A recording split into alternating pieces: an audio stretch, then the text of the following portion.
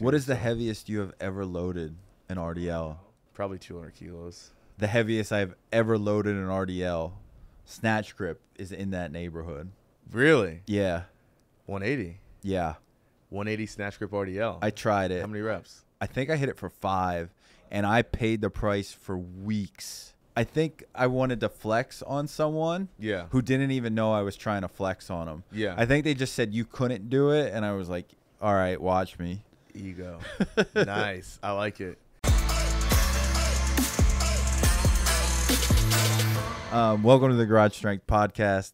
I got T'Mond with me again.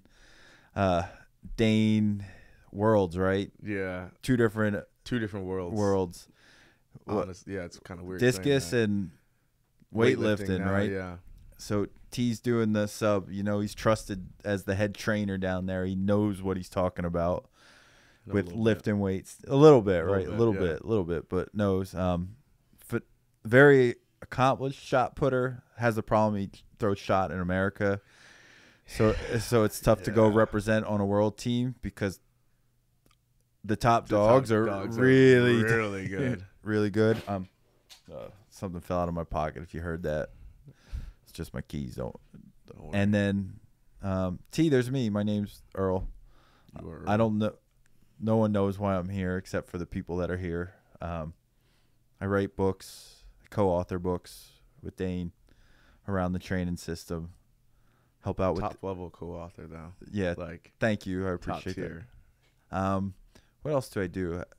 Help with uh, scripting things. Yeah. A lot of the writing things. If there's words involved, I tend to be around somewhere. You were somewhere. around that. Yeah. Um, you clean 300 pounds. For a double. It For was a double. It was for a double, and that doesn't matter. It's the whole fact that I did it for a double at 40 years old. Yes. like I did I it for wanted to throw that in there. yeah. I think that's important. 40 years old, and I think I added two. This is before, I, because T'Mond wants two athlete days since he loves doing hurdle hops and box jumps so much. They're I was really telling him how I can like I'll do like 36 inch hurdle hops still at 40, and when I was only a wee bit younger, like I was still a masters athlete, I could do my best athlete day ever. I got three 42 inch hurdle hops. in a row. It, I wouldn't say it was like boom and go. Like I definitely needed to like muster up and go. Okay. That's fine though. You still did it. 42 do inches it- is high. doing it three times, like I was impressed with myself. Like I, I gave myself an attaboy. And then after that I was like, why are you working so hard? Like you could still jump high with 30 inches. Yeah. Like you don't need your hips, like your knees just touching your nose type Yeah, of thing to get over. It's not necessarily Um, the most important thing. yeah. So get the Peak Strength app if you don't have that. Just putting that out there. Athlete Days on there. Athlete Day's on there. At least one of them was on there. What's it like training Athlete Day as a shot putter? Because we are talking about how to get strong without squatting, and Athlete Day definitely is a way to get strong without squatting. Yes. Um, as a shot putter doing athlete day, it's interesting, but it's fun. I like to compare it to like in high school I was a football player, and so what it- position did you play? I played. I played a lot of positions. What position did you play? center was my main position. I was gonna say you look like a center. I was a pretty good uh, center. I was really good. I would think you'd be tough at center. Yeah, I was. I was pretty tough. I was nice. Like, Tou- how tall are you? depends on the day. How tall are you on your tallest day? Six feet and a half. Thought you were taller than that. I thought so too. I would have gave you six two and not have questioned you at all. Okay, I'm six two then. All right. My Hudl profile said six two, but I mean Okay. that doesn't mean anything until they see you in person. And you played in Texas too, I right? So like it was an, A highest level. Oh, Texas. wow. Yeah, was your team any good? I, we were okay. Like one year I was really good, or we were really good, and then like we were pretty bad, and then we were like moderately good. So What made you like pretty good? Did you have like a stud like we had a, a running back that was legit, like Th- 25 hard, 2500 yard running back. did he go play SEC? He was getting recruited by everybody. Did he- He didn't have did the he- grades, unfortunately. Oh, So he had to go JUCO, but he was legit, that's pretty super cool. fast, broke tackles, juked anybody. He was good. This is going to be a silly question and I don't know. With like all the NIL deals now, Yeah. do you need the grades anymore?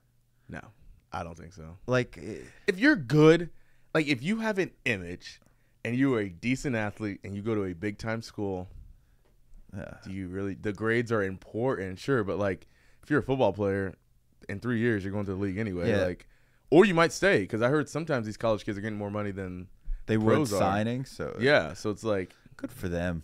it's it's really good. I think it's funny because it's like you look back. I don't know if you watched the Johnny Football. Um, Is it on like on Netflix? I don't have it. I You don't have Netflix? nah. I kind of only. What are you living under a rock, dude? Like, All right, so I'm an early adapter of like cut the cable. Like I was Okay. just all streaming, yeah, like decade plus now. However long it like you cut the cable for over a decade. yeah, Wow. Okay. where like entered normie culture type thing, like more mainstream type of stuff. Yeah. Um, and now I'm like almost exclusively like I'll just watch YouTube. Like it's and You can get a lot of stuff off YouTube, it's just like this podcast. Yes, it's just more fun for me. Okay, I like that. But yeah, NIL is it's crazy. Cool. And I also, this may be sacrilege. I think watching sports, if it, you're not live there, is some of the most boring thing and an absolute waste of my time. Sometimes I said it. I'm sorry. Like, I I can't watch a football game on TV. I can't do it.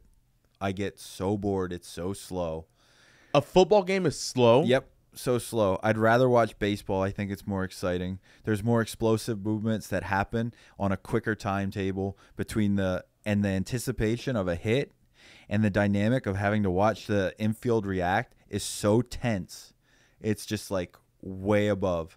And then I'd even prefer like a game like soccer because there's constant movement. There's not a single commercial going on and you just constantly get to watch the game. And as you learn the game more, you can see the little nuances to make it more exciting instead of just like, oh, they're just kicking the ball around, no one scores. It's like you don't need to score to see excitement Yeah. and see like potential and possibility.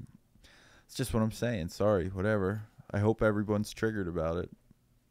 That's interesting. Like even you, you were like ready to. I was me. ready to jump on you, but You- I was like, I, when, when you when you explained everything, I do get it. Yeah. Like it makes sense in terms of like the reactions of everything. Like I was watching, I forgot where I was at. I was watching, I think the Mariners play. Uh-huh. They had a double play, and I, you could see like the uh, second baseman's, no shortstop's face, like how focused he was to make sure he like tagged the bag, kind of jumped over the guy to make sure like he didn't get ran over, Yeah. or slid into, and then like made a play to first. Like it is hard. It is, and it's respectable. You know, I can respect the work that they have to do. But to say it's more exciting than football, mm, I'm a little. I, I have to. I can't really argue with you on that one. That's your opinion and Yeah, perspective. well- so what excitement like is it. like there's it's more delayed gratification through baseball. okay, I see. Football's like you can just be a hard worker. It's like three yards here, four yards there. Oh, first Yeah. down. Let's start again. Same thing. Like, but you never know what's next. You never know what's coming. Same thing with baseball. Baseball, I feel you can get dragged along. Like I'm curious. over the zone. What percentage of football plays end up with a first down or like drives? Like, you know what I'm saying? Like, how, many, drives a game? Yeah, get a first down. Like, yeah, I bet that percentage is higher than um, hits in baseball. Because think about it, if you if a hitter is successful 33% of the time, they're a Hall of Famer. yeah. That's insane. Imagine if only one of every 3 throws you had had to be in and you could be in the Hall of Fame. Like wasn't a foul. I mean, that literally encompasses the thrower thought of like it only takes one. Yeah. See, But but you could be a Hall of Fame. you, a just have to hit dingers though, Yeah, right? You have to hit straight dongs for it to like be a Hall of Fame. hang I it. guess. so that's fun. All right, let's talk about strength in the legs Let's without squatting. We're getting off topic. I know there's a lot of baseball, Whatever. football. We're talking sports. I'll take credit or for distracting us. Squirrel. All right. We were talking about athlete day. Yes. You were before this all started, we were talking about doing it too. Plyometrics is a way to get your legs strong without Yes. squatting, right? Yes. It's all about the high threshold motor unit recruitment. Ooh, big words. A lot of big words. Yeah. HTMU recruitment. Yeah. Um, so it's just like you doing those high intensity movements force your body to re- contract and recruit a lot of muscle fibers to move your body weight in space. And that has to be intense and high and aggressive and intentional for you to actually accomplish that. So that is one way to get strong because you're doing it over and over and over again and repeated.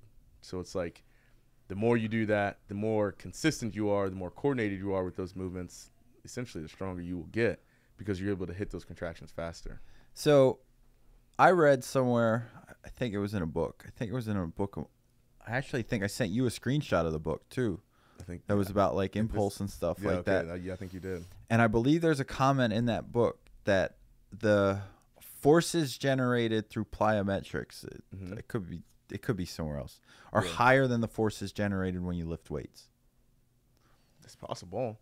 Definitely is. Just because I mean, all when you land from a plyometric movement, all the force going into the ground is super high because you're taking on your load of your body weight, gravity, whatever distance you're traveling, Acceleration of the every, you know the acceleration of the way nine down, point eight meters per second Yes, squared or something, something like that. Yeah. Was that physics? Something. Yes.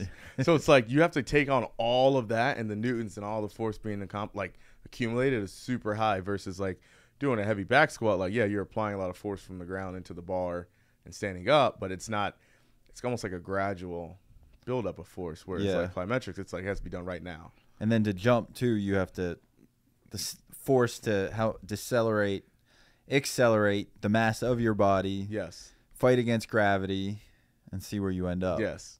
And then it's also I think just like being coordinated to get over if it's a hurdle or getting onto a box or stair jumps or any other like obstacle you have to overcome. Like you have to actually think about that to one to do it and then get your body to apply the necessary force to complete it. Like you're gonna get strong doing those things. How much dynamic trunk control do you need to get your knees up to clear the hurdle? A lot.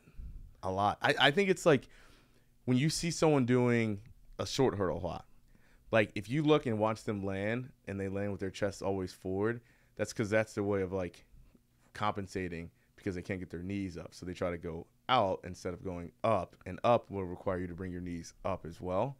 And so it's like you need your hip flexors, you need all the psoas, the abs, all those muscles to dynamically control Yeah. for you to get your knees up so you can keep your your trunk upright when you land. That way you can keep. What happens if like uh the series I see a lot like high hurdle, low hurdle, high hurdle, low Yeah, hurdle. yeah. yeah.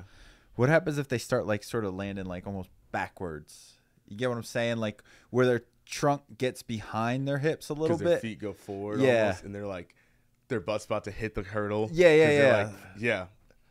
Big. I do that all the time sometimes, but it's like because you think of going up so much, but then you ha- you have to have some sort of horizontal movement too. So you can't just go straight up, bring your knees up, because then you won't go anywhere. And then you're like, oh wait, I got an obstacle, and I have to jump over. So you kind of like limbo the You- yeah, you like throw your feet forward and like hope you get over the hurdle without like hitting your butt and then the hurdle falling forward. Yeah, I think that's part of that's just like a more of a coordination almost. and then you because- land and it's like, uh, how do Oh, I? Get? how do I Thankfully, now? it's like a small hurdle or Yeah, so something. you can just kind of like get over, but then it's like now you have to try to set yourself back up to then get back over the big hurdle. Yeah. Like, it's almost like if you do that once, it could throw off the rest of the hurdle. So you almost want to hope it's like the last hurdle you yeah, do it on. jump series are for real. Like you need athleticism. Like Yes. I, w- I always laugh when they they use the B roll like uh, Singleton doing the stuff, and you're like, oh, that doesn't look so bad, and then like maybe you go try it or something like that, and you're like, what was I thinking? Yeah, Like- that's completely different. That guy's different, and then even doing the movement itself, that's different. Like you have to, Yeah. If you don't train in a way of doing something like that, where you have to go fast and explosive, like, or even like the really hard. videos of Jan doing all this stuff oh, too. that like jump series and all those things. Yeah, it- it's crazy. All right. So leg strength without squatting. We got some plyos here. Yep. Do you, do you want to say some like creme de la creme plyometric movements like that are that are gonna get you strong. yeah. Come on, you got to spit it out. This is a talking one. You This- can't have downtime. I know I can't have downtime. Anything. I mean, just doing like a, a box jump or a depth drop, Yeah. depth drop to a box jump, depth drop to hurdle hop. Um, I think just bounds in general. Uh huh. going for distance on bounds, like you know, three uh, triple jump broads. If someone had to buy one piece of equipment to make their athlete day or like their plyometrics more like better, I don't Their know. I- I was- plyos better. what would you buy? Probably a hurdle. All right. Mini hurdle or high hurdle? Mm, high hurdle. How many of them would you buy? Four. Four. So if you had four high hurdles, like you're golden. Yeah, I think you're fine. Would if you could? Uh, I'm trying to think. So you want the high hurdles over the mini? Yes. What would be even better? Could you get like something that's like adjustable? Yeah, I was gonna say the next one would be adjustable hurdles. So we actually just kind of insight. We put we're trying to get some adjustable hurdles that go from six inches to forty-two inches. I got And I- me some of You got some of those? Yeah. Smart move. So it's like you can do your quick plyometric stuff more impulse like. So you're going quick over the hurdles really fast. You can do them Uh-huh. in different different areas or different planes of motion, whatever. But then the high hurdles is like now we're getting forced into the ground. We got to get up, get over, and then try to make those rebounding and fast. And so I would say the high hurdles if you want to get stronger as well as improving your overall plyometric right. ability. So But high hurdles definitely. plyometrics, everyone. Stronger legs without squatting. Yep. And I want to make this caveat. We are not saying don't squat. Yes. We're not saying that. Definitely squat. Like it's a given. Just, you know, maybe though you run into some limitation at some point in training that it can't happen or Yeah. you just need alternatives. You like, hey, this is how to do it. yeah. So, where do you want to go next? Do you want to go into like accessory movements? Do you want to go maybe something not thinking of to get strong legs? I think this one's different. All I might have talked about this one off air a little bit. let me hear about Um, this. I think sprinting, okay, some sort of so speed work. speed work, yes. Let's talk about legs. speed work, getting strong legs without squat and doing Yes. speed work. I think it's very similar to plyometrics because you're doing something that's high threshold motor unit. Like you got to move fast. And so I've noticed this was an experiment I tried five years ago, um, doing hills, hill sprints, like I think twice a week. For, Were you running them? I ran hill sprints, yeah. So was it, you were the the lab rat. I was the lab rat. you were experimenting on and I was so I tried it. I was like, okay, I'm gonna do hill sprints twice a week. You know, I change the the rest time up every now and then. what was the distance you'd run up the I hill? think Like, it was like 25 yards, all right, so it wasn't crazy far. yeah, but Nothing, but it was depending like on a the fairly steep hill. Yeah, depending on the grade of the hill, that Yeah. can be vicious. Yeah, it started. It was like really steep and really high grade, and then it slowly started to level out a little bit. But it was still like you're still going uphill. Um, so I was like, okay, I'm gonna do this twice a week and see if I go when I do like leg movements or any like a clean or a you know squat or anything like that. Like, does it feel different? And it did feel those movements felt stronger. Okay, so when you say stronger, what is something as the athlete like that makes it feel stronger? Like, does the bar move faster? Does it like it just feels like when you go to stand up, it goes up? Yes, when you go to stand up, it goes up. I think the pull off the ground felt stronger on a Okay. clean or a snatch. Um, any type of lunge or single leg motion, like a jerk, a recovery of a jerk or landing of a jerk, landing and planting both those feet into the ground felt way stronger and way easier just because you're in that split position. Same thing, you're driving off on a hill. I think you get this. That's almost the same aspect because you have to steadily push each step to get up the hill. And so when you land on the jerk, boom, those feet land. It just more there's more stability there. Um, where else? Can you do sprints without the hill? Hundred percent on on just flat land. Yeah, like I'm sprints. just I'm going to the local high school. Yeah. they have the gates open. I'm gonna go use the track. go use the track. Yeah. Everyone on the outside, you know, running their laps, walking or whatever, you, talking in- to their friend. yeah, I can go stand down at the hundred meter line and like and just go. and sprint. Yes. So it's all doing something. We're in that zero to fifteen second time frame. You know, using a lot of ATP, PCR system. Like you're using those high threshold motor units, like we talked about Uh-huh. earlier. You have to apply force at a rapid rate. You're going to get strong. Your legs are going to be get very strong off of that because you're steadily applying high amounts of force over and over and over again. Now, how do I not get hurt? Because I will tell you this, and Dane was making fun of me. I was, I started deciding like I'm gonna start doing like speed work. I'm gonna go Yeah. sprint. Like I'm gonna do it without fail. I would get something to tweak every time I tried to like max effort sprint, and I Yeah. don't know. Maybe I'm just old, and I I don't know why.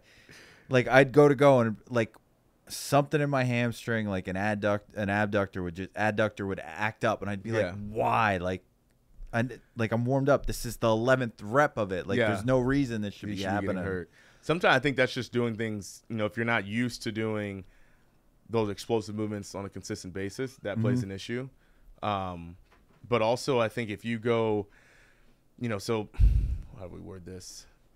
if you're doing some sort of you're sprinting and you, you have to start at a lower intensity or lower distance, do build ups. Okay. You know, I think that's a big one. Is a lot of people try to go straight off the line and go right away, but your body's not used to going from zero to 100 that fast.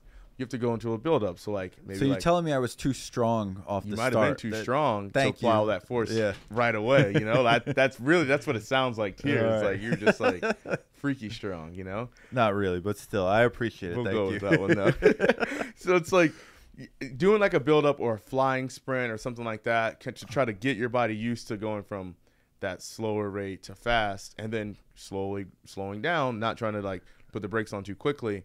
That kind of gets your body builds it up a little bit of a you know. Almost like a shell in a sense. So if I'm hearing you right, if I was like programming speed work, because I'm not going to squat to get strong right now, but I can still run fast. yeah, I might benefit from doing hill sprints. Mhm. I could benefit from doing normal sprints, yep, and I should probably, if I'm like setting up a rep scheme, yes, if you will, especially if you're someone who like older like me, yes. start or even younger too. Oh yeah, younger as well. Start with sort of a progressive movement Yes. where the intensity builds, and you call them what fly sprint, Yeah, flying sprints. flying sprints. Yeah. before getting into like maybe an all-out effort start or Yeah. something of that nature. Yeah, yeah. Like you don't you don't want to go out there and let's test my 40 and I haven't, you know, ran or Yeah. done anything in months or years, you know, you want to slowly build into that. So that's where I think doing just simple drills and stuff like that, like, you know, A skips, B skips, skips for height, little things like that, trying to go as high as you can. Is that speed work or is that plyometric work?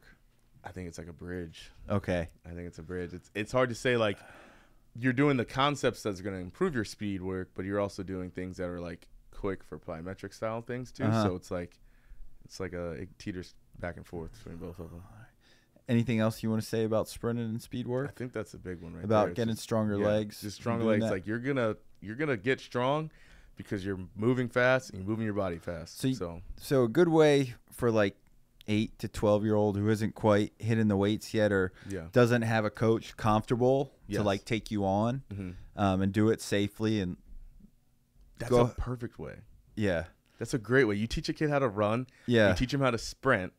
They're eventually they're gonna one get coordinated. or just jump too Or just Go jump. up those steps kid. Yeah. And see how fast you can do it and see how you land. See Yeah. your body coordination. You learn how to do those movements. Those are just simple movements, right? You do them early on. The next thing you would need is to get stronger. To get stronger then and lifting weights will then help those movements. So now you have a base. You know, you have that base, Yeah. you know, set. And so I think once you do that, now you can get that kid to go from instead of essentially you're trying to teach them everything at once, they already have that base of just bodily coordination and movements yeah that's sprinting and jumping. And then it's you put strength on top of that. Now you turn them into a whole different beast. all right so we get them doing that right hmm we can do speed work plyometrics we talked about. Let's talk about lifting but we're not squatting. We can't squat. Can't squat. what are we going to to strengthen the legs? Like what what exercises are you putting in their program? Like We can't squat at all. we're No back squat or no squats. We're not front squatting. Uh yeah let's say can't no goblet squats no we're not squatting like no bilateral squatting. yeah we're not going no we're not even single leg. no single leg. No unilateral squatting at yeah all. Yeah, like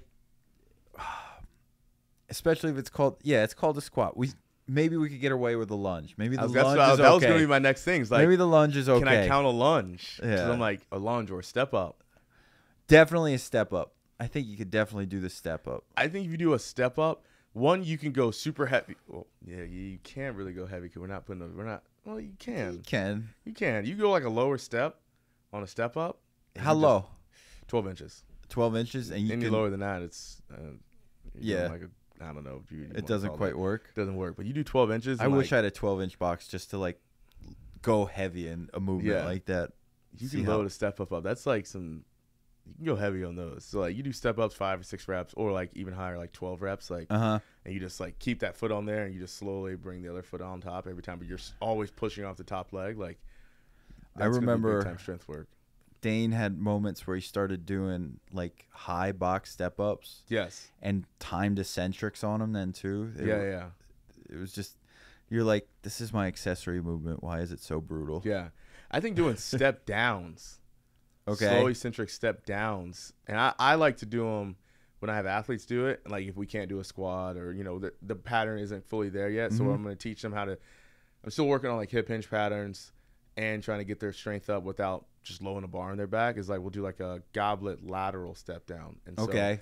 standing on the on a box, you know, you're on the edge of the box and you're slowly you're keeping that foot on the box essentially, and you're just slowly lowering down three four seconds, and then you're gonna push back up from the top leg.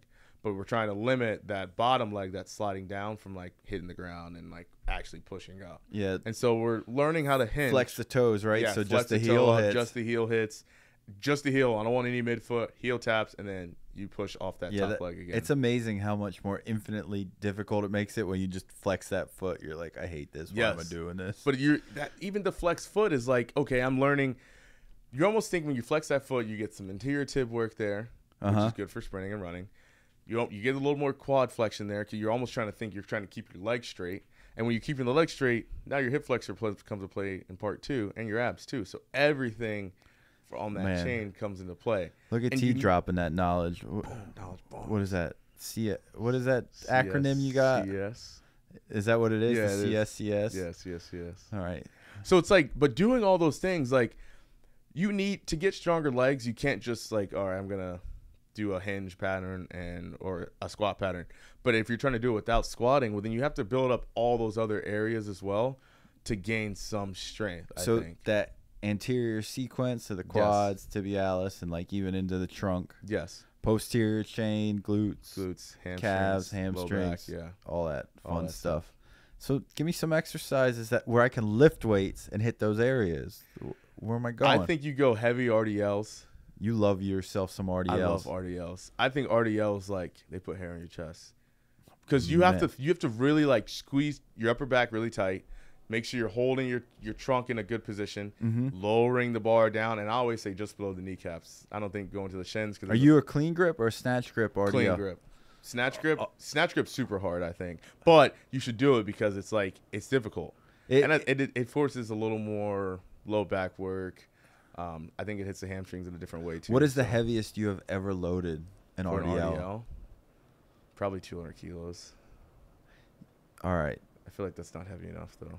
No, eh, for you probably not, because No. I know your max numbers are way heavier than mine, and- we're in the same ballpark as he- the heaviest I've ever loaded an RDL. Snatch grip is in that neighborhood.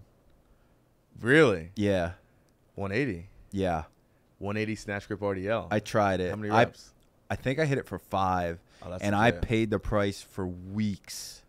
yeah. I remember going to squat the next day, and I'm like, I can't keep my trunk. Like I can't. I was everything up. I was just I think I was just trying to I think I wanted to flex on someone yeah. who didn't even know I was trying to flex on them. Yeah. I think they just said you couldn't do it and I was like, "All right, watch me." yeah. So you did it anyway. Yeah, and it, it And then you paid for it. yeah, I mean, you live and learn. YOLO, right? it was fun. I think it's worth it. I and, would try that. And no one cared like no one videoed it. It was Oh, just no video? It, yeah, no, it was just me doing it because someone said I couldn't. So I was like, "I'll try it." Ego. nice. I like it. Yeah. Um. th- that was younger. Yeah. Younger Earl. Like not not 40, not in their fifth decade of living, Earl. I like that. um.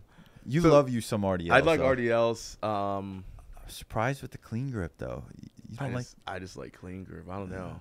you have like you do have like shark fin lats. Like y- They're kinda you got wings. Like yeah, they're. so I, I would think like you'd be cool with the snatch grip. Like I don't mind snatch grip. I think one thing is like, if you don't have good grip strength, then the snatch grip is harder. yeah, well then you But just use wraps then. Yeah, too. you just could- get use straps. That's Yeah. true. That's, yeah, what I thinking? There's a way around I it. just, I mean, I'm just like, if you just go brute strength, let's just try to like hammer it. All right, know? so you gave me RDLs. What else am I doing? I I can't would squat. you can't squat. Still want strong legs. I mean, you can stick with the posterior. Good morning's always a good one. That's an easy one though. Um, What else? mm, What about something where I, I can't I don't necessarily need to load it? And it Nordic, yeah. Nordic hamstring curl. Yeah. That's a good one. That one is like, it doesn't. I mean, you're not gonna get as much quad in there, but the hamstrings and the low back, like, you will get strong legs doing Nordic hamstring curls. What else could I do? Like could I what could I do on a glute ham machine? What are some Uh, exercises I could do there? We can go glute ham raises, glute ham extensions. You can do reverse hypers on a if you turn the opposite way. Uh huh. Do bodyweight reverse hypers on a GHD. Mm, I think those are like the main ones that I would say. I can't believe you forgot Dane's like favorite glute ham movement. What's Dane's favorite? Glute I ham? think it's the razor curl. Like Oh my gosh, yeah. he loves that one. He does love like the razor. Yeah, razor curls on a GHD or like OD. do you do with your athletes? You have much. So if T has developed some elite athletes Yes. through GS, like don't get me wrong, but T deals with a lot of the like. Thirteen to thir- seventeen. yeah, he deals with a lot of kids with big dreams. yeah. Um, Dane gets a lot of the elite. He gets the elite. creme de, Yeah. de la creme, like just perspective. Do you do any like single leg work, like the sprinter glute ham with them at all? I do do that. Yeah. All right. I like it with wrestlers a lot.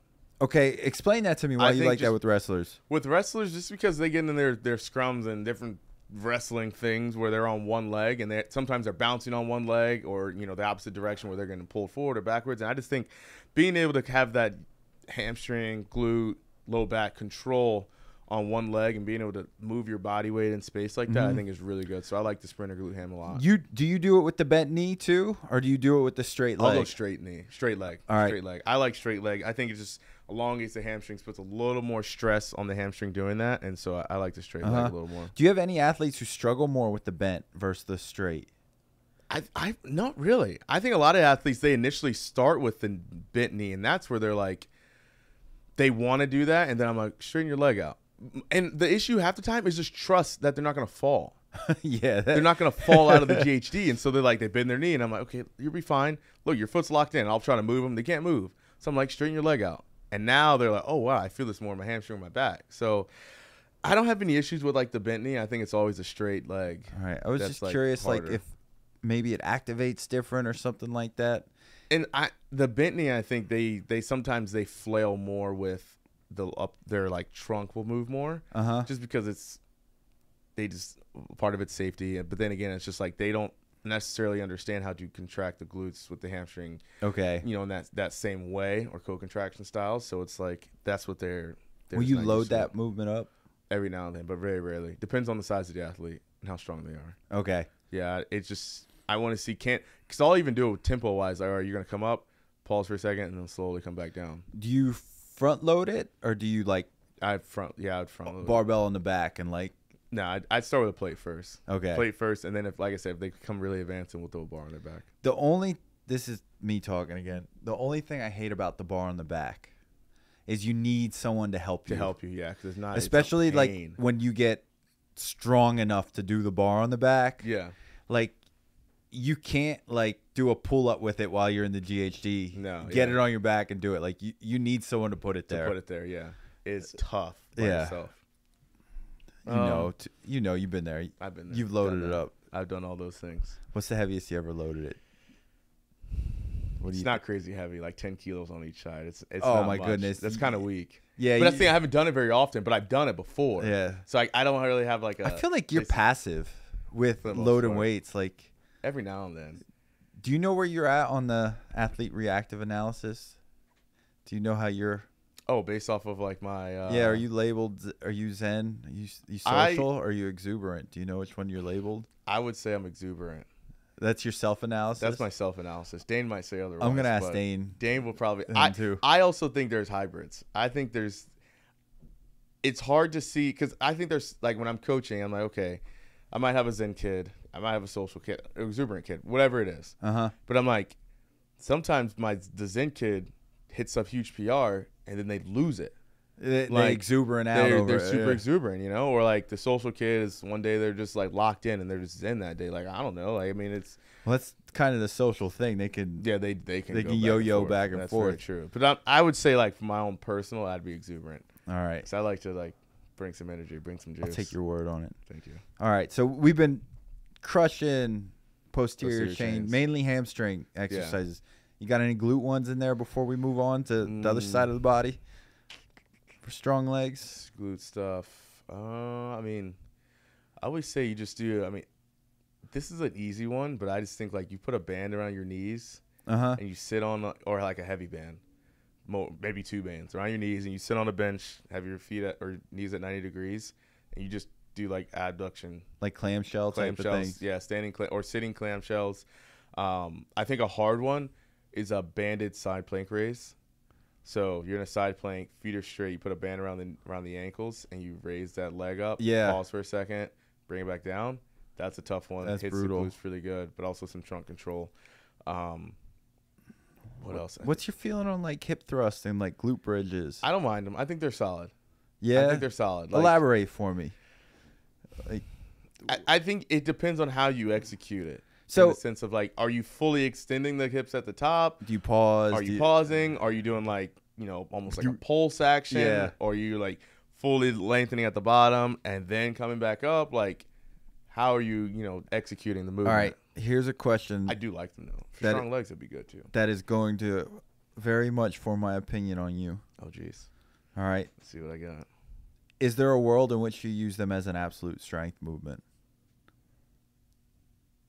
No. All right, good. Now No, we we can still be friends. Yeah. No. Uh, you can't. I don't think. I mean, it's it's you. Not as an absolute strength movement. I think they're always. You can be- go heavy. Don't can go me heavy, but it's like, all right, we're gonna do a warm up and then some technical coordination work and then go into hip thrust. No, I, Yeah, I yeah. couldn't see it. I couldn't No, see it. Uh, yeah, you can load it up accessory hypertrophy work. Yeah, and it's it's even best as hypertrophy work. Like I think you just do do it for twelve to seventeen reps, or if you want to go really heavy, maybe drop down to five to six. But like Even 8 too. even eight, but like you're going like a heavy triple. I, I haven't really seen that before. my but, like, own personal experiment and i may like my reps may have not been like technically the sound like it's more like where you're going but i'm pretty sure like my deadlift i could hit for like five to eight reps of it the one your yeah one rep max deadlift. yeah Dang. i think is about what it was like just yeah. goofing around with stuff and i don't have a strong, Strong deadlift. deadlift. Deadlift's like not a bad exercise for strong legs. so- oh yeah but Mm, just a concentric there's no eccentric you can just drop it yeah, just like, drop it it's the over top. Yeah, it's over. a lot of athletes do that. Yeah, a lot of athletes do that. All right.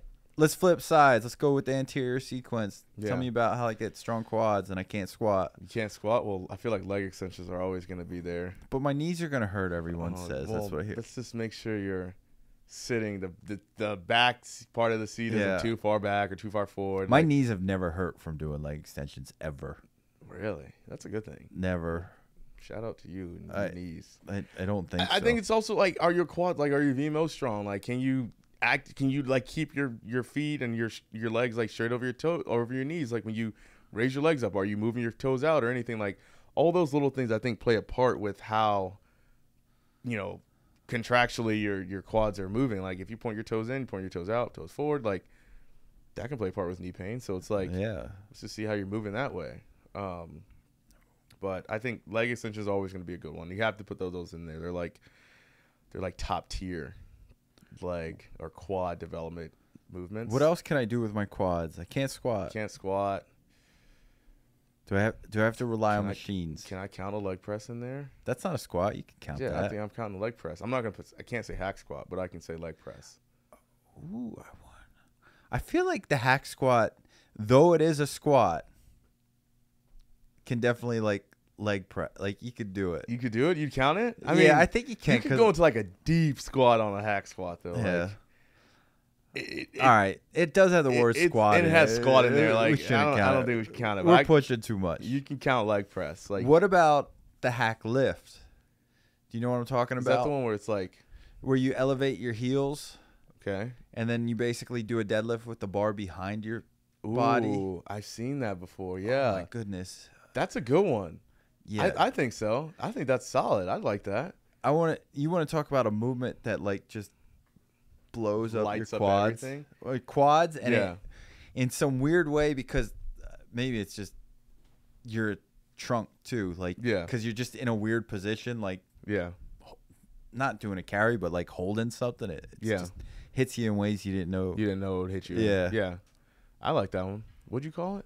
Uh, I think it's called a hack lift. Hag lift. Hack, Hack like, lift? almost like a hack squat. It's, Okay. but Yeah, but it's it- called a hack lift. Okay. I think that's what it's called. I think that's what Dane told me it was called. I feel like at some one. point I thought it was a hack squat. Like, yeah. but it's like I don't have a hack machine. I'm yeah. gonna do this. So let's Like, do this. Yeah, I like it. Um, can't I squat. mean, can't squat. I would. I want to say walking lunges, but I don't know if you count that or not. Yeah, I think walking lunges, whether that's like hands by your head or loaded with dumbbells, like that's that's a rough one. It's a good one though. Like it's it hits the quads, hits the glutes, um, hits your trunk trying to stay upright. Like I think that would be a really really good one, and the coordination aspect of it too. yeah. Man, I'm trying to see. I wrote some things down here. What about seated calf raises? Seated calf raises are good. I like doing that one a lot. I have some of the um, older clients we have, and I'll have them grab dumbbells, Mhm. just put the dumbbells on their knees, and go like two second pause, seated Oh. calf raise, back down, up, back down, and then I'll pair that with um, standing tib raises. So hit the front and the back of Oh, the calf. It's that's a rough one. brutal. Oh, it's terrible. Do you, with the standing one, you don't have to load it, do you? Mm-mm. No, you just stand your back against the wall, put your feet out a couple inches out in front of you, push through your heels, and you just raise those toes up. Almost always cue like big toe to the to the sky or big toe Yeah. to your nose. You'll feel your anterior tib just like Yeah, I'm just up. doing that right now. Yeah, you'll feel. I feel like my tib tibialis is stronger than my actual calves. Sometimes I, I'm making that up. Did I Like, say? That'd be wild. I mean, that's really cool. If it, I mean, Yeah. you're a runner. You did run for a while, right? um, I like for a few months, and I was like, this is the most painful thing I've ever done in my life. I think I overdid my volume and probably had like stress fractures in my feet and just oh, powered through because like you just I'm a dummy. you got that dog. Yeah, man. I I don't know if that's it. it it's just like a lack of intelligence sometimes. Like, oh, look how tough I am. Ugh, I I'm not even trying to be this. tough. It's just like, hey, I'm gonna show up. I said Yeah. I'm gonna do it. I'm gonna do it. yeah. It's like a. This may be a bad comparison, but Anton Chigurh in the movie No Country for Old Men is like Okay. he's like the. I don't know if he's the antagonist, but he's definitely like a villainous character in it. Okay. But the thing about the character is like he has a moral code. Yeah. It may be skewed, it may be weird, but he has a code. Okay. and he's very like almost a zealot to the code. Yeah. I have moments where when it comes to exercising, I will have that mindset. Like you plan to do that this week, you're going to get it done hell or high water. Like Yeah. and I will maneuver things and schedules and uh, not just exercise like plans or like tasks or things I committed to people or things I said to people like I will work in that way. Yeah. I don't know. That's just so I was run. I was I had these goals, these dates. I set them out. Um, it was going to get to this, and it was going to happen whether I Wanted- might have had stress fractures in my feet or didn't. Yeah. You just did it. Yeah, It's I just planning. never went to a doctor, so it's just I could be making it up. You know, there's no proof, no Dang. scientific, no imaging. You just felt pain. yeah, my feet just hurt when I woke up in the morning. Mm. My feet, my knees, or my body never hurt like that after lifting. Like, Yeah. muscles were tight, but it's like you can I could go lift and be like, "Ah, I don't feel a thing. Yeah. Dang. I don't know. Well, I respect that. yeah, I should have got. You should have probably got that. probably should have got out. thicker. Uh, or insoles, yeah. yeah, Run those. Wear those. Uh, those I should have just sprinted and got stronger legs. That I mean, if that's what you're really looking to do, like I mean, All right, let me see. All right, I think we covered it, right? I think I so. feel like if you can't squat, go do plyos, yeah, go sprint, and hey, here's a bunch of like accessory type movements: yeah, leg press, use that glute ham developer, yes. leg extensions, machines, Machines, yeah, machines are like a big one for you. and target those legs. Like yeah, I don't know, this Nordic is a random thought. Make it happen. I was just thinking about another self-done experiment. All right, I want to hear it. it. uh, doing I, I like lab rat. doing um the assault bike, but raising. No, I'm sorry, not raising it. Lowering the seat a little bit because there's always like you should have it like at a certain height and you know, Yeah. make sure you're not fully locking out the bottom, but like raise lowering the seat down a little bit to where you have a little more knee flexion at the Uh-huh. bottom, and trying to keep it at a higher intensity. In So a of certain RPMs. wattage, yeah, like, certain or- wattage or RPMs, whatever. Like, I remember I did that. Like I said, self assessment. I did that for 12 weeks, maybe like last off season, Uh huh. just to like just get some extra calories in, build a little work capacity. And I always had like sore knees, but I did that for those 12 weeks and I had no knee pain really at Okay. all. So basically, just having your quads quads blood pumping, blood pumping, probably building up your mitochondrial volume or Yep. whatever they're saying with and it, and it, and all that Stuff. it was helping out there. Yes.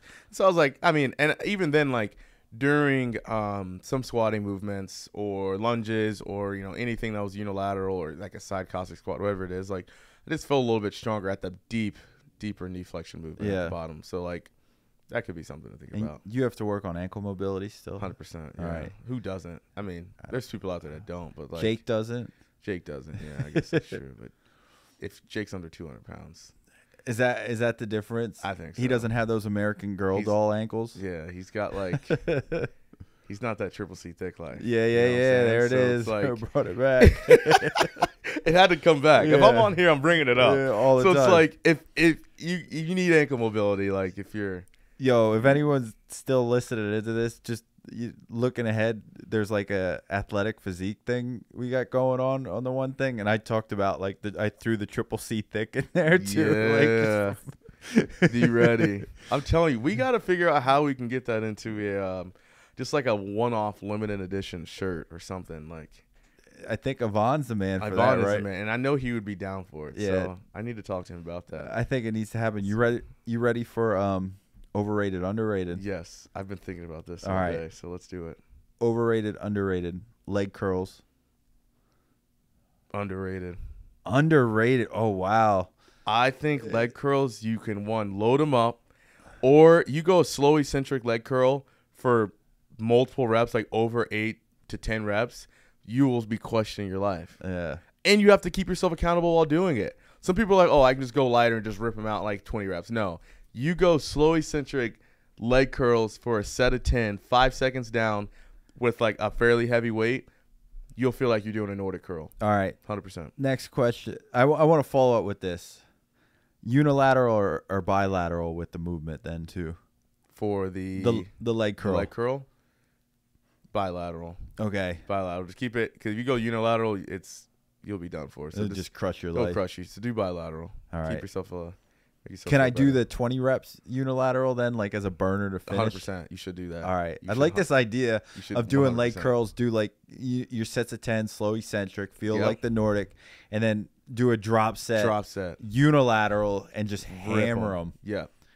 Very nice. All right. Overrated, underrated. GHD machines. Mm, they're not overrated, so I, I have to say underrated. Underrated. yeah, they you can do a lot of good work on a GHD, and I think the biggest one I found is doing. So when I'm teaching, I, I'm I coach 13 to 17 year olds. That's my main thing. So I don't have them go reverse hypers right away. I'll have them go on the GHD, and instead of being inside, they'll just flip the opposite direction, hold Uh-huh. on to the back plate, and then do reverse hypers that way. Just learn how to engage. your learn how to engage the muscles. I want you to hold for three seconds. I need to feel your low back. You can obviously see their glutes and hamstrings are contracted, Yeah. and the feet are pointed down. They're not like just flailing out wide. So I think that's a good one there. Um, and Why do you, why the feet pointed down and not out wide? Like not out wide because I sometimes you, when their feet are out wider, you can't. They're not necessarily squeezing the hamstrings as much. I think so. Like when their feet are together, you really force Okay. them to keep everything in line and in a straight line. You know, so, so, th- there's it's a specific visual cue you get Mhm. that a muscle is probably not being engaged Yeah. properly. Is what yeah, because you can just flail and it's not as necessary. All right. So, overrated, underrated. Hip thrust machines. overrated. You don't need those. They're, it look. I mean, they're cool. They're great. Great thing to Makes use. it so much easier, Makes right? it easier to load, easier to set up. But like, Just you don't. Just not- buy that pad in the barbell. Yeah. Like I get it. The barbell itself, like yeah, dig can into be your rough. hips. That's hard. Yeah, put a pad there. Get But the pad. Like A whole machine for it. Like, it depends on who you work, who you're working with. I will say that. Like, Yeah. you know, if you're in a certain gym that, what's the clientele? yeah, what's the clientele? What's the goals? Maybe it's necessary, but like. Maybe they use it as an absolute strength movement. Maybe they decide to do, you know, Yeah. five sets of three heavy hip thrusts and then, or something like that. I wonder what that would be like. Mean- max hip thrust, one rep max. Well, it, it's I, I almost feel like you'd get the same looks as like you go to like a public gym and you see those guys loading up like fifteen thousand pounds or something on a leg press, and it's like, why do you have all the forty fives in the gym? Like, what's the point of that? Yeah. So now we got these heavy hip thrusts, and you're doing sets of four or three, and you have eight hundred pounds on it. Like, What's going on there? okay, can you squat like four or five at all? I don't know. Okay, this is an either or one. Okay, This one isn't that fun. But it's exercise related. It's not Yeah. like pop culture related. I apologize. That's okay. Um, for athletic development, so we're working with athletes. Which is the better exercise, the glute bridge or the hip thrust? And if you need me to differentiate, when I think of glute bridge, I think of like your back is on the floor and you're doing like a glute bridge. The hip thrust is when your back's like on a bench and then you're thrusting. Because the movement's very similar. It's just Yeah. where your back Where is. your back is. I like the glute bridge more. Okay. and I think just because it you're a little bit lower on the ground or you're on the ground. And then so the doing that you have to fully get the hips to fully extend and I want to see like a almost like a straight line from like your trunk through Yeah. your your quads to the knee. So I like the glute bridge a little more over the hip thrust Now my next question is, what do you do with the people where you see like almost like a hill? from like their Like they hit the glute bridge and like you say you want to see the straight line, right? Yeah. Like from basically knee down to like the Mhm. shoulders, like the torso, it goes Yeah. straight.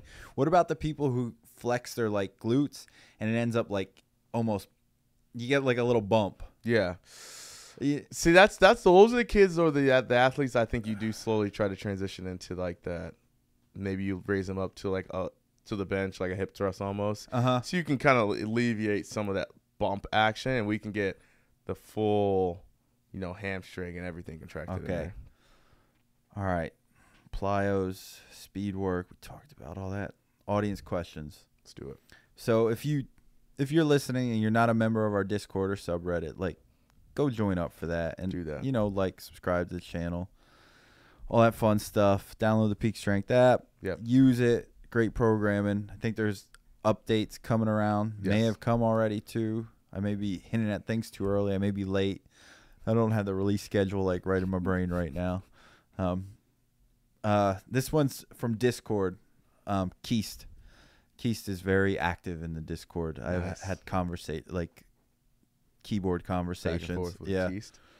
Yeah. Shout out Keist. Um, how's the atmosphere in the gym when Dane is there compared to when he is out coaching at major tournaments? Feel like that one was that one I think was just for this episode because I did post.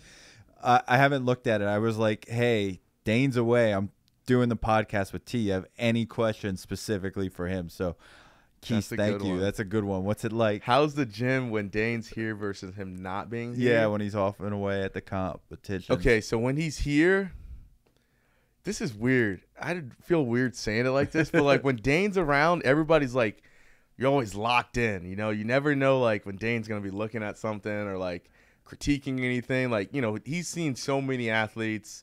Um, you know, he's seen at all different levels, so he's always like. There's always times where I'll be coaching or a legend and I will be down coaching. He'll just walk through and be like, hey, remember that one kid that was over there doing X exercise? Like, did you see that? And we were like, oh no, I didn't, but I now I remember to make sure I look at that. So yeah, he's always like looking at something, and everybody always wants to talk to him. Dane is a bird of prey when he's coaching. He sees everything, Yeah, everything, and I think that's one of the best skills that I've learned from him is like he notices everything and always like constantly seeing things. So that is a good thing. Dane is hyper vigilant. Yeah, Like Dane would make a great um like guard. Like you if you were out camping and like military like some combat, you got to hold. he Dane would to be the, the good the person to be like look Yeah. out. look out, first watch or Yeah. something like that, or like like that middle of the night watch and everyone wants to sleep. And Yeah. he'd, he'd see all that. He'd, Um, he'd hold the door. he would. Um, but yeah, when he's here, it's just like everybody's always locked in. Like you always try to focus on the little things. Um, you always try to cr- you can crack jokes with him too, but Yeah, he, he does have a good sense of he humor. has a good sense of humor. Um, when he's not here, I think I try to think of little things when I do like that he would notice. So like if I'm coaching or like you know just cleaning things up, like the vibes are different because it's like oh man, Dane's not here. Like I feel like it's almost not the same. Like the same amount of athletes don't show up all the time, Uh-huh. but you know it's you know we still have to do our job, we still have to coach and things like that. So it's a little different. Like obviously we don't get coaching during that time when he's gone. Uh huh. But um, there's a lot more tripods out. That's for sure because everybody's recording, wanting to send stuff to him. Um, but that's probably like the biggest thing. Um, when he's when he's here, it's just like Dane's here, like Big Dog's here. I like to mess with him about that. So it's like everybody wants to talk to him. You want to make sure you're on your p's and q's, and then when he's not here, you're just like, all right, let's try to uphold the same thing as if he was here, the standard. I like the idea around the tripods are out when he's gone. Oh yeah, the tripods. tripods come out when Dane is gone. Everyone wants to film everything. Everybody, everything's filmed. It's like record from this angle, record from that angle, record warm ups, record accessories. Is this right? Is that right? Or is this not right? Like, man, it's crazy. Tripods go. We run through tripods at this place just Nice. because of that reason. All right, this one is Dielper Dipper eleven. This is from Reddit. Is there any known athletic benefit to concentrics done in the ten to thirty second range? Anecdotally, I've experimented with thirty second eccentric concentric concentric compound movements for warm ups and burnouts. I feel at times this primes my CNS and will actually allow me to move weight faster in follow up sets. However, however, I feel if this type of movement pattern was truly and uniquely beneficial, more people would be talking about it. Should anyone add these slow type of lifts into their program? That's a doing that long of eccentric is like Yeah, it's like glacier, but he's, it says concentric and eccentric, and initially it talks about concentric. and concentric. That's that's what threw me off a little bit at Yeah. first. It's like a thirty second concentric, which I mean, I, you couldn't you couldn't. That's not sprinting because there's a eccentric load there too. It's I don't know. I mean, how do you move something concentrically for that long of a period of time Yeah, without going fast? What what are you trying to do? Work Yeah, the what- positions? yeah, Uh, like if I could see it from a technique maybe standpoint, Yeah, and the idea of using it for a warm up doesn't seem like off, like No. completely off base. I don't. It may not necessarily be the best use of your time, yeah, and if it's working for the person too, like they're saying they feel they then move faster through the slow. Maybe the muscles, like just thinking through it, they spending more time in the position there, like the body becomes more aware of the position, yes, so to say. Because I do know, like GSPD, like timed eccentrics is a thing. yes, hundred Like it is used very often. Like Yeah. especially, hey, we want more time under tension. We're gonna time our eccentrics. Like it happens. Yeah, Um, concentrically, not so much because like Yeah. you want to move fast. Like Yeah. it, it's more sport training. Like hey, Mhm. we're gonna practice moving fast. Um, but I also too know like we don't throw everything out. Like try to experiment, see where it is. Yeah. but- I think if, if I if he would have with that question, like I'd love to see that again in terms of like what exercise are you using that with? Like, yeah. and that that would give you a little bit of a better picture. Like, are you using it with the bench press, or are you using it with the squat? Are Yeah. you using it with like a leg extension, like Yeah. a curl? Like, where is it yeah, happening? where is it being done? And then I think that would be better. Because My thought is, from like the GSPD system, isometrics would probably be better yes, to get that same thing yeah, um, in those positions. And I know, having talked to Dane, he already said like pauses in the concentrics are a bunch like it's garbage. Don't Yeah. do it. yeah. I've like he's a like lot, yeah, don't pause it with a quarter like at a quarter squat on the way up like No. just finish the lift if Finish you're gonna right away. pause you pause in the it hole way down. Yeah, um so i don't know if that was what you wanted delper yeah. 11 but that's the best we got for you today Yeah. um anything else you want to say about squatting without uh or getting strong without strong legs without squatting I think that we covered a lot of How- things. how'd we do oh we talked a while so if you're Yeah. still listening thank you Thank we you. appreciate yes, it we definitely one Um, thousand percent appreciate you. Hopefully, we got some good information in there that you can yeah take along. And if you don't want to squat, you can do those other Yeah. You can go run, jump, and do train almost like a bodybuilder. Yeah, All right. Do you want to do Dane's piece? You did it last time. I did. Oh Yeah. yeah. Um, Cultivate your power. always. All right, guys. Well, we always need to. If you want to become a freak, you always must cultivate your power. Peace. Later.